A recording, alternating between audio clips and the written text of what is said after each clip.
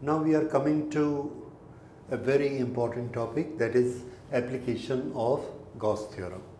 Every student of physics has to understand Gauss theorem very well and how it is to be applied that is more important because most of the questions either in class 12 or in competitive or in college or for any principal are based around it that whether you can apply Gauss theorem finally. So, you must understand it how we apply Gauss theorem. First thing, where to apply, why to apply. The answer is Gauss theorem is this and there are certain quantities. One is charge, epsilon naught, theta, ds, area and electric field. In any equation of mathematics, we know we can always find out one quantity if other quantities are given to us. So, this is like that, this is an equation. Here 1 upon epsilon naught, epsilon naught value is known to us and we can use this formula for finding out electric field. If we want to find out electric field, then we should ascertain how much is the charge, how much is the area and what is the angle between electric field and area vector. Then we can find out electric field. So, we apply Gauss theorem to find out electric field for different charge distributions. What is different charge distributions? We have seen earlier, it may be a point charge or the complete charge is distributed over a line, a complete charge is distributed over a sheet, a complete charge is distributed over a sphere. There may be many types of charge distributions and for every charge distribution electric field may be different because of the different distances and different quantities. So, by our ordinary method of Coulomb's law that E is equal to Q upon R square, it becomes very difficult to sum up to find out electric field. So, we use a relatively easier method which is a Gauss theorem. Initially, you may find it that it is a bit long, but once you are used to it, you see we are going to do at least 6 to 7 derivations using this uh, method of Gauss theorem. By the time we are doing one or two, after that you will also become very fast doing in that or you will be doing it yourself. And that is what an examiner wants to check. He will give you a different situation and find out whether you can apply Gauss theorem yourself or you simply go by what you have learnt in the class. So try to imbibe the method and I will tell you, I will give you notes for different steps. Those steps are to be applied and with that you can always use it. Okay. So I will tell you the steps by using one example. The simplest example is there is a point charge, there is a particle point size and it has got certain charge q. Because of this I want to find out electric field at this point P and this point P is at a distance R. I have to find out electric field at this point. Okay, what are the given quantities? A charge Q, distance R. These are the two quantities and what I am supposed to find out E and what I want to use is Gauss theorem. Now, how we apply the Gauss theorem, I will write steps here. These steps you are not supposed to write in the examination. This is for your learning process. Step number one, consider a Gaussian surface. We must write what is meant by a Gaussian surface. Consider a Gaussian surface and now it's very important to understand that what is the nature of a Gaussian surface. Okay, Gaussian surface has got certain properties. A, it is closed from all sides, no opening. B. E at every point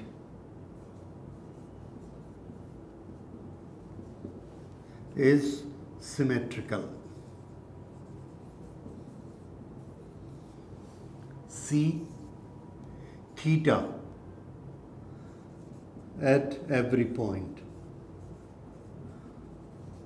is symmetrical.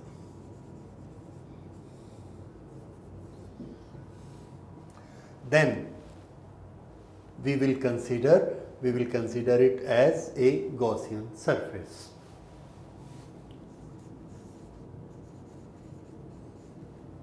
May be a combination may be a combination of more than one surface. Okay. Now these examples I will show you.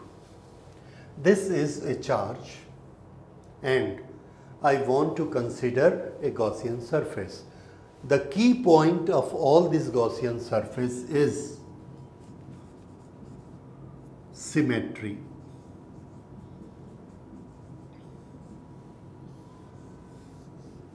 Symmetry is the key point of a Gaussian surface. Now a Gaussian surface should contain certain charge. Okay. So if charge is there, I will consider, I will imagine a Gaussian surface around this charge. Okay, if I want to make a Gaussian surface symmetrical, then the best symmetrical surface is a sphere. So now we will make a symmetrical surface around Q and the best symmetrical surface is a sphere. So I make a sphere here. Now this is E. Where is this E? The answer is electric field is striking the surface. So if I want to find out E at this point then the surface of my Gaussian surface should be here. So from here the Gaussian surface should pass for the symmetry, I want a sphere, so I make a sphere here, like this. Now, if this is a sphere, see, this sphere, I consider it as Gaussian surface. Why? I tell you. Number one, it is closed, correct? Number two, E at every point is symmetrical. The formula for E is Q upon R square this you know. Now this is R, this is also R, same, this is also R, same, this is also R, same. If R is same at all the points, Q is same at all the points, then electric field at every point will be same, symmetry. That is why whatever distance we take on this side, the same distance we take on this side so that E remain symmetrical. So E we have made symmetrical by this method. By taking it geometrically, it is in the center. Now, theta at every point is symmetrical. What is the direction of electric field? Answer, this is the direction of electric field. What is the direction of area vector? Area vector, this is the small area and this is area vector. The angle is 0. At this point, at this point, this is electric field, electric field and this is the surface, this is normal to the surface. Here again theta is equal to 0, here theta is equal to 0. So you find at every point of the sphere theta is 0 that is symmetry. So this is a imaginary sphere, imaginary remember it. Imaginary sphere, it is fulfilling my condition that it is closed, E at every point is symmetrical, theta at every point is symmetrical. If, if it would have not been a single surface and it will not be possible for me to find such a surface which has E at every point, then I will divide my given surface, my imagined surface into two parts like sometimes I will consider cylinder as a Gaussian surface and this curved surface is having one value of E and this plane surface will have another value of E. So, I will add up later on the flux but if it is not at all possible to have symmetrical E for all, I can divide my surface into two parts and I will do calculation for two parts which we will see in other applications. But in this given application only one surface is sufficient. So this is my step 1 consider a Gaussian surface. Now when I have considered this Gaussian surface I will write what I am supposed to write in my answer book. I will write we have taken a sphere of radius r with q as center so so that point P is on the surface of Gaussian surface. This I am supposed to write here. So that is my step 1 and here written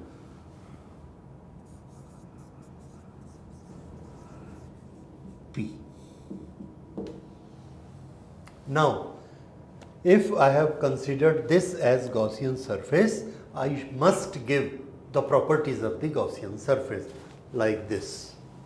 So, I continue this. I continue this at every point theta is 0 and if it is 0 it is symmetrical symmetrical so my purpose is done. I have explained in writing that my Gaussian surface has a shape of sphere, it is closed, E at every point is symmetrical and theta at every point is symmetrical. This is part what I am going to write. This I am not going to write, this is just for your explanation. So this is the first part I will write. Now what is the second part we have to do that I will tell you in step number 2. Now we go for step number 2 and what is step number 2?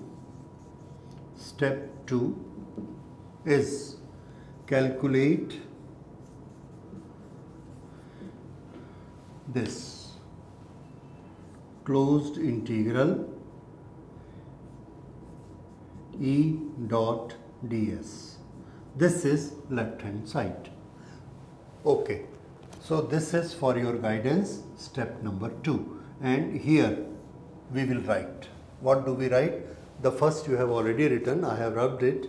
Now the second step you will write E ds cos theta is equal to E at every point is same because R is same this we have already mentioned. So this is constant for every point. This comes out of integration. Theta. At this point, theta is 0. At this point, again, theta is 0. At every point, theta is 0. So this is also a constant and it will come out and cos 0 is equal to 1. So that we will make it 1. In any case, it will come out. Then integration is to be done for ds only and this will be E into the complete surface is 4 pi r square. Now integration is done. This is left hand side EDS is done. Okay. Then third step. This step 2 is done. Step 3 so calculate charge within the surface. We will write here our third step in reply to this charge within closed surface.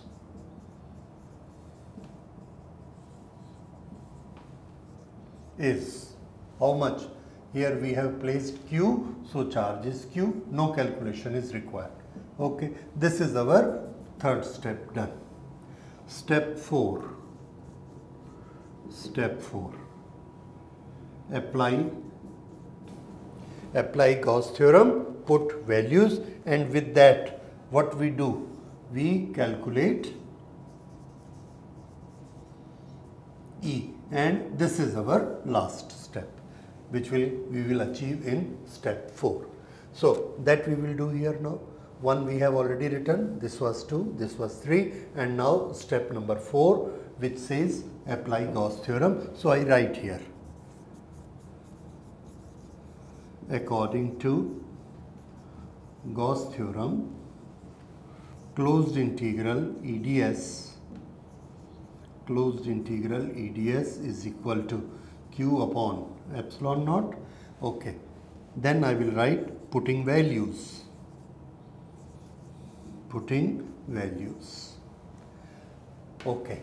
Eds cos theta our value was e 4 pi r square. So on this side I will write e 4 pi r square.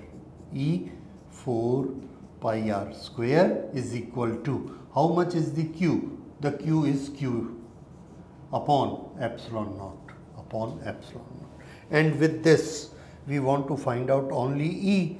So I find out E is equal to this 4 pi r square will transfer here and what I get here is E is equal to E is equal to 1 upon 4 pi epsilon naught or let me write it first this way q upon this 4 pi r square will go here 4 pi r square q upon epsilon naught and now I simplify it 1 upon 4 pi epsilon naught q upon r square. This is electric field where on the surface and where is the point P on the surface. So this is electric field at point P. This is how we find electric field at any point which is at a distance r from the charge. So this is application of Gauss theorem and you have seen the four steps. These four steps now we will apply for more complicated situations. Okay, and one by one you will learn all the situations where we can find out electric field.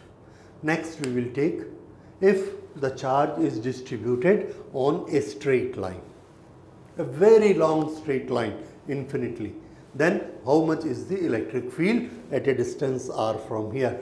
This makes electric field here, this makes electric field here. So what is the net electric field at this and see how beautifully we apply Gauss theorem in that. That will be in the next lecture.